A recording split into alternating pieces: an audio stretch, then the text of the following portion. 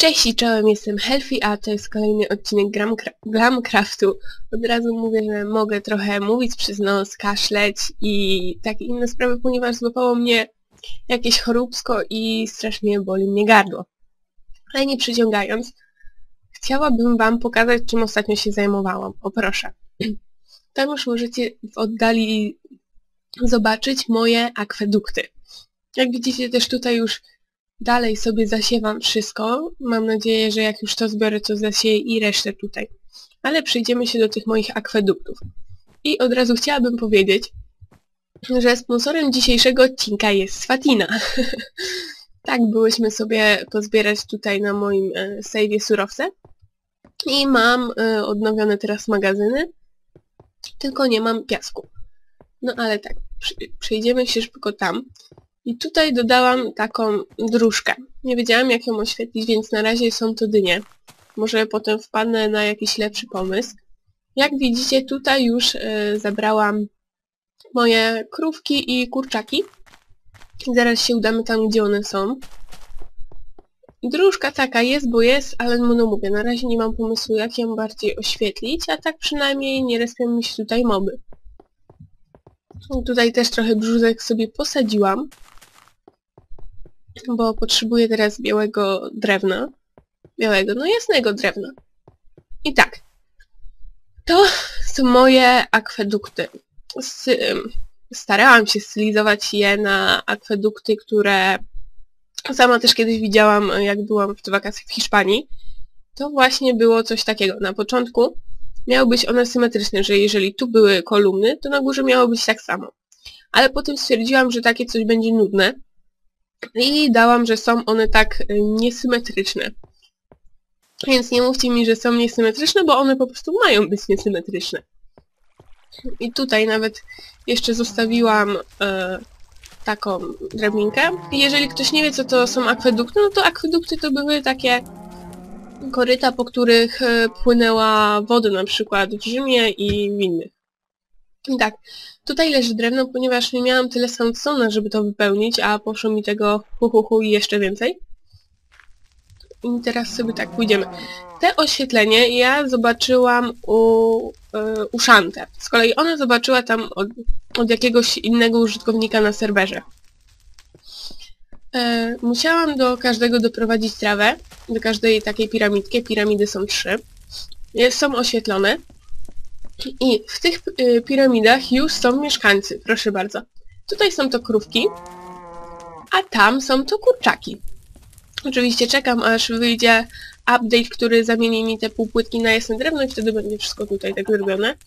E, jak widzicie, trawa mi się jeszcze tutaj rozprzestrzenia, bo dopiero niedawno tam doprowadziłam to. Jak ta studzienka sobie tutaj była, tak ją zostawiłam i poprowadziłam jakąś dróżkę wokół tego. I jeszcze zastanawiam się, co tutaj mogę dodać, ale e, takie pustynne tereny to dość ciężko zagospodarować, więc e, jeszcze nie wiem, co z tym zrobię. Czy tam płynie woda, czy nie? Nie, no płynie. I też pewnie możecie mi zarzucić, że ta woda wygląda tak dziwnie, nierealistycznie. Ona właśnie ma tak wyglądać, ponieważ mm, tak gdyby była normalnie, to by jej nie było widać i jakoś tak dla mnie by to nie miało sensu. E, tutaj już zaczęłam sobie, postawiłam taki szablon. Mm, tutaj będzie biblioteka. Tylko mówię, muszę jeszcze pozbierać jasne drewno i jeszcze te zwykłe. E, zabiorę się za budowę biblioteki. Jezu, spadłam. I taki na razie jest mój plan. Tylko jeszcze nie wiem, co tutaj powymyślać, jakie e, dekoracje pustynne, albo nie wiem, może tutaj jakiś plac zrobię, popatrzę na zdjęcia różne z starożytnego Rzymu, jakieś albo inne takie i wtedy może mnie coś zainspiruje i coś tutaj jeszcze stworzę. Bo jak widać no, na mapce ma to taki kształt trochę dziwny, ale no trudno. Teraz jak tutaj jestem, to to sobie zburzę. No mówię, na, e, na to wszystko Sandstone'a poszło, poszło bardzo dużo. E, to, co ja sobie wykopywałam pod tamtą farmą, to starczyło, nie powiem, starczyło na bardzo dużą ilość i na piramidy i na wszystko, ale no resztę musiałam chodzić yy, i zbierać, dlatego też te pustynie tutaj wokoło one mogą w niektórych miejscach wyglądać dość nienaturalnie. Bo na przykład tu, tu już widać, że byłam, tam jeszcze chodziłam, zbierałam piasek.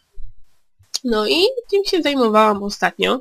Teraz mówię, w planach mam y, do zrobienia bibliotekę. Więc teraz będę polować na trzcinę. I no wiadomo, będę robiła książeczki.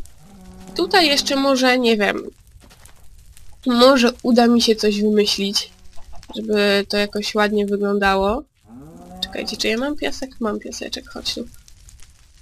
No, mam nadzieję, że tutaj uda mi się coś wymyślić, żebym... Żeby, bo to tak na razie wygląda pusto, jakoś...